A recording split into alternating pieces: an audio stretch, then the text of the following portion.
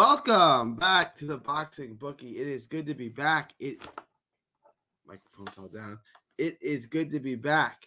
Uh, we're gonna get into a good one today. One that um, I think is a terrible heavyweight fight between two fighters. I don't think are very good heavyweights. That's Efe Ajagba and my my paisan, my Italiano, uh, F, uh, Guido Vianello. Uh, I don't really think too much of either of these guys, but I know a lot of y- y'all do or did. Um, but before we get into that, please like, share, and subscribe. Follow 3D Boxing, 3D Boxing blog, and all forms of social media. The boxing bookie comes at you for every single major fight, so you had to consistently uh, make money betting on the sport of boxing. Uh, please also subscribe to the Patreon. The link is in the description. It's also in the banner below. Just five dollars a month gets to the lock of the week. Again, of course, we hit the lock of the week this this this past week. We hit the lock of the week as well. Uh, the week before, it's guaranteed money. You're making money. It's just five dollars a month. Let me know what you guys think. Um, join the Patreon. You get the lock of the week. You can ask to book anything. There's a free T-shirt involved. There's a ton of perks. There's five dollars a month. Join the Patreon. Um, also, subscribe to my other channel, Texas Boxing Scene on YouTube. That's Texas Boxing Scene.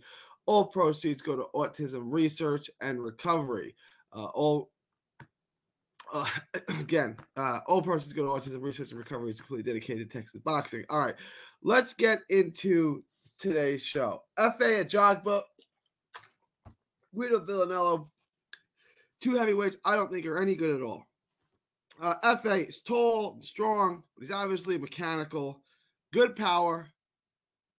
He's strong as hell. He- he's an ox in there.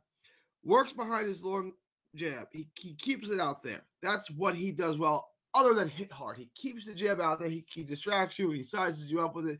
He measures distance with it. He does a good job with it. He's- he's a bit slow and stationary. I don't think he's he's a very good athlete. Although he's fairly coordinated in a sense, but he's like he's, he's like a big robot or something, right? Like I'm not.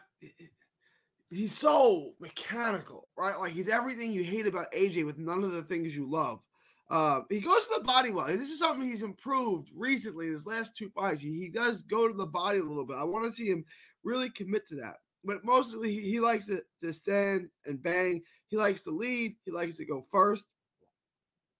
He's straight in. There's almost zero lateral movement. So you know what he's doing. It's, it's his jab, jab, right hand. He's a basic one-two kind of guy. There's no head movement. He's an easy target to hit. He's he stands in stationary behind a high guard, right? You can get him to show up. You can get him to the body. I don't know if Guido's going to go to the body, but he's just basic, like step one of an instructional video. Like he has never progressed past that in any way.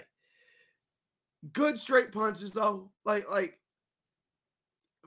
on a fundamental, basic level. Ronnie Shields, who's over my shoulder, you see Ronnie Shields there, has done a relatively good job with, with developing him at the earliest stage. Now, where he goes from here, I don't really see.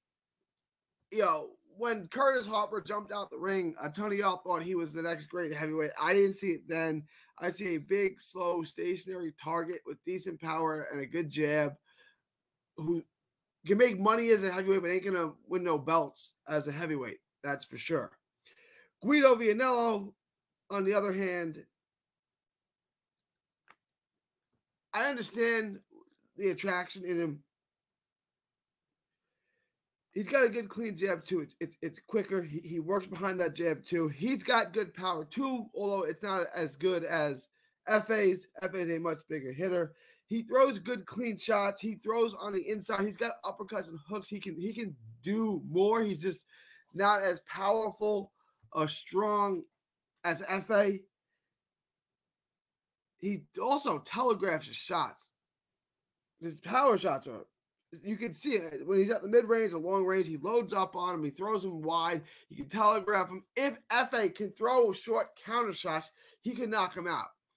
I don't know if Efe can do that. It's not really his game. But Efe likes to go first, and when you throw, he covers up. He can't cover up. He's got to counter him because you can counter this guy from a mile away. But that's not really Efe's strength. Where does he want to be? Right? Like I, I don't really get. Like, I don't think Guido has a game plan. Really, Does he want to come forward? Does he want to go back? Where does he want to be? Does he want to be on the inside? Does he want to be on the outside? He definitely doesn't want to be on the outside, but how does he get himself on the inside of Efe without getting himself tagged? It's tough, but offensively, he has some tools. It's just like he's not that good. Like he throws in combination, he throws good clean shots. He's reasonably athletic. I think he's the better athlete in the ring. Um, I think he's the quicker guy in the ring. He's pretty quick for a big man. He's got some decent tools. I, again, he's not the strongest guy. He's not the biggest hitter, All his power is okay. He can get knockouts, but he's not going to really change things with, with, with one shot the way that Efe could. He likes to march forward as well. So I see this coming forward. I, I see him coming forward and Efe standing his ground and Efe basically, for the most part, getting the better of it right? Like Guido's going to try to get inside. He's not going to be able to get past that jab. He's going to march forward. He's going to walk face first into some jabs. Uh, and eventually that right hand's going to score. Let's take a look at how we're going to make money on this. I guess I've showed my hand already. I like Efe to win. Um, I'm going to look, there's no, this is all we got right now. There's no props. So it's just a one times bet. A hundred dollar bet makes you 1428. Okay, it's minus 700. Check this for part of the lock of the week.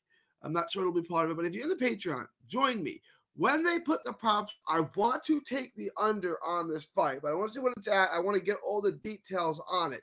So join the Patreon, just five dollars a month. When the props come out on this, I'm, I'm really interested in seeing Efe by knockout and the under, what the odds are on that, and I'll advise you what to do. Should we take Efe by knockout? Should we take this fight to end? But uh, we'll, we'll, we'll get there. But I, I, like Efe and I like this fight to end prematurely. I like it to, to go inside the distance. Uh, we don't have odds on that right now. So all we have right now is Efe Ajagba. Make your one times bet. I'm confident Efe wins, but this is not like some absolute home run. Uh, so we're gonna take Efe because Efe is not that good. Efe minus 700. The one one times bet makes you 1428. You lock in the profit. Remember, we went 5 and 0 last week. We're going to try to go 5 and 0 again this week. Let me know what you guys think. Leave your thoughts, comments below. Please like, share, and subscribe. Join the Patreon. The link is in the description.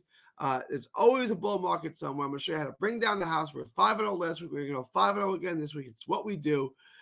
We're 5 0 last week. My record is the best that there is. Uh, there's that's not even debatable at this point. I'm the best at this. It's just it is what it is. Uh, join the Patreon, get all that free advice, get the lock of the week, get a free T-shirt, show some support. Five dollars a month. Um, also, join the other channel, Texas Boxing Scene. All proceeds go to Autism Research and Recovery. It's completely dedicated to Texas boxing. It is April 7th, 2024. From Texas to the world, thank you and God bless. Don't miss a tweet, post, story, or video. 3D Boxing is on Twitter, Instagram, and Facebook. Hit the subscribe button now to stay inside the ring.